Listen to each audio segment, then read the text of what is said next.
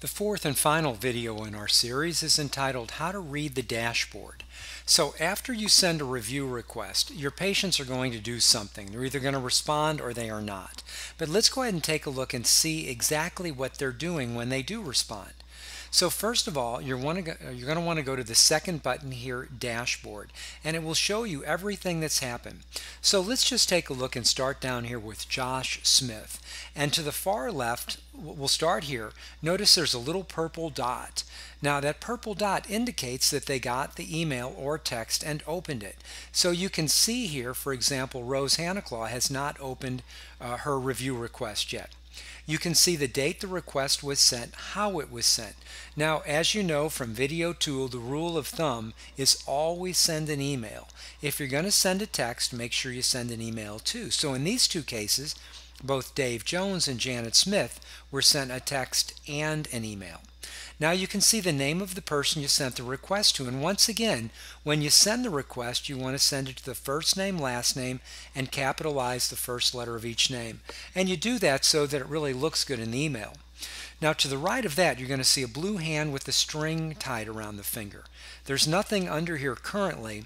If three days had gone by and today is February 9th so there are no days that have passed if three days had gone by and this is February 12th and Rose hadn't done anything, you'd see a little check mark here and it will go out automatically.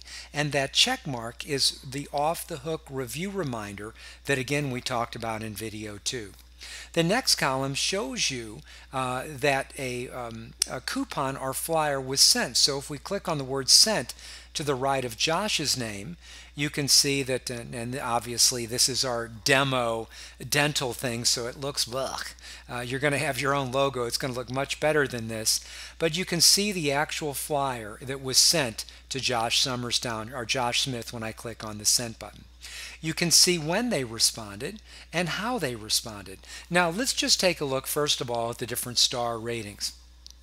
To start with, up here at the top, you can see that the orange star means they rated you only. And here's an example. When they got the review request, they clicked on three or four stars and clicked continue, but they never followed through. They actually never did anything. So if they just rated you and stopped, uh, that's when you're going to see the orange stars.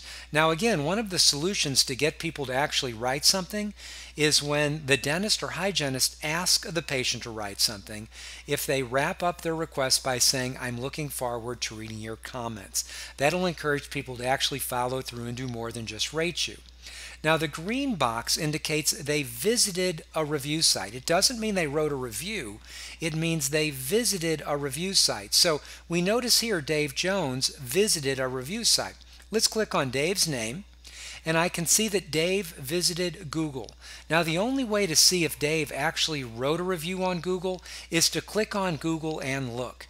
If you see Dave's name there, he wrote a review if Dave if, if, if there's not a review there by Dave, he just didn't write the review. And keep in mind, only about half of your customers that click on the review sites are actually going to write a review. So just note that the green stars mean they went to one or more of the review sites and they may or may not have written a review. The only way you're going to know is to look. The blue stars indicate they wrote a testimonial. Now, some the system you're on may have the testimonial feature turned on or not. But if it does and they wrote a testimonial, you'll see blue stars. And if we click on Janet Johnson's name in the top left, we can actually see what Janet said here. Now there's lots of things you can do with testimonials. You can share them on your Facebook page, you can feature them on the page where other people write reviews, and you can learn a lot more about what to do here when you look at the collected data section over here. But let's go back to the dashboard one more time. And down here we'll notice there's four stars. The red stars indicate they gave you less than five star feedback. And on that page, if they give you less than five stars, they're taken to a page, as you know from video three, that says, what can we do to improve our service? So if we click on Josh's name, we can see that Josh wrote, the office is always cold. Other than that, everything is great. But this is what feedback would look like, and it does not go on the internet. So this is what these star ratings mean. Now, keep in mind about one out of every four or one out of every three customers are just not going to respond. They're going to open your email and they're going to do nothing. And the reason for that is uh, th- that people are way more likely to tell you, oh, sure, I'll write a review and not do it because it's easier just telling you they'll do it and not do it. So don't let your feelings get hurt if half the people, or not half, but between one in four and one in three people don't write a review. Now, if you're doing a really, really good job, you're going to notice that slightly more than half of all the people you send a request to are responding in some way, shape, or form. There are people that have as high as an 80% response rate, four out of every five, people responding. If your response rate is very low, for example, no one is responding, or only one out of five, it's a pretty good indication that one of three things is happening. One, you're not providing that outstanding service that you need to to get a review.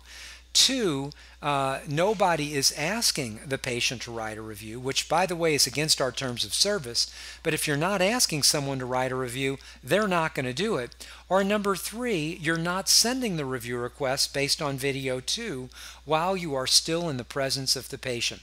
So if you see that less than half of your people are responding, it's for one of those three reasons.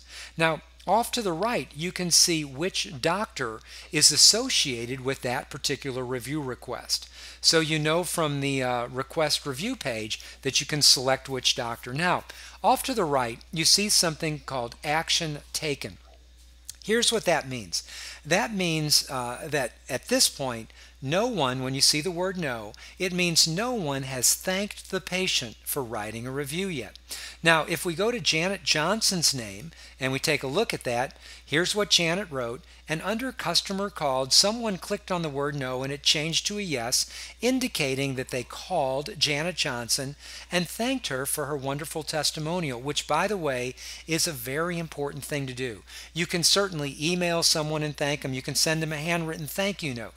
But quite frankly, there's nothing as valuable as someone in your office calling the patient as soon as they write a review or a testimonial, thanking them for doing what they did. And by the way, the sooner you can thank them for doing that, the more likely they are to forward that flyer on to their friends. So they're going to get the flyer, and you want them to get the flyer at the same time you call them to thank. So let's go back to the dashboard and we know here that um, Dave went to Google. So let's go to Dave's name. We see that Dave went to Google. Now we already know that Dave didn't write a review because we've already checked on that. And here's the question, well, what if we see Dave went to Google? Should we call him and thank him for the attempt to write a review? And the answer to that is no. You don't want to call someone who intentionally did not follow through to write a review. Just let it go. And another question I get is uh, what if someone does write a review and I call and I get their answering machine? Should I leave a message on their answering machine? And the answer is yes.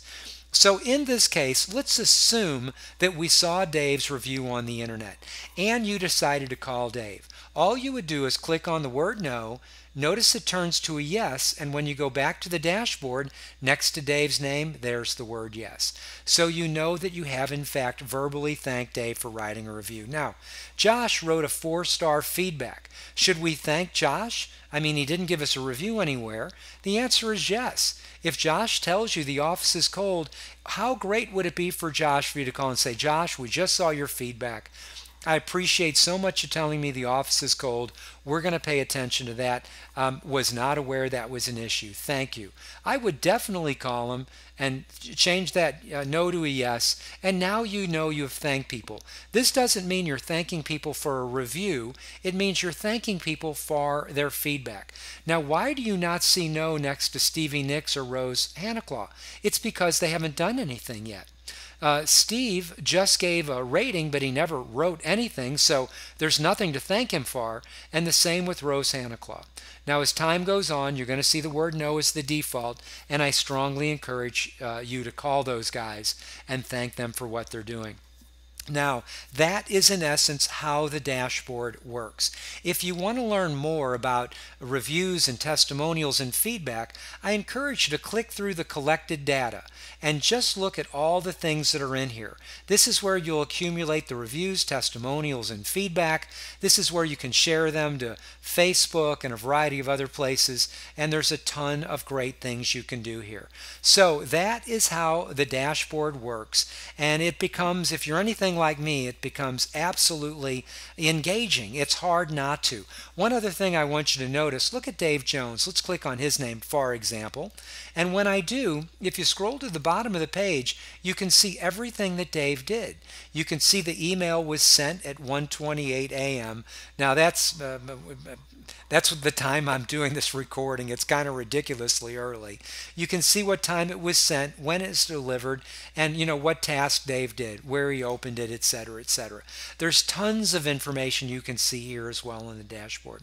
But anyway, that is how you read the dashboard, and the goal is to ask as many people as you can and make sure that you're asking in such a way and you're sending the review request based on video two, so that at least half of the people are responding to your review request.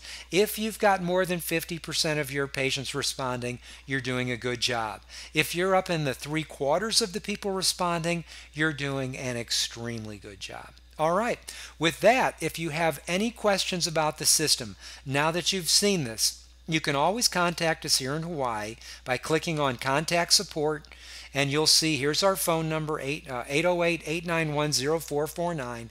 We're available from 7 a, uh, 9 a.m. to 7 p.m.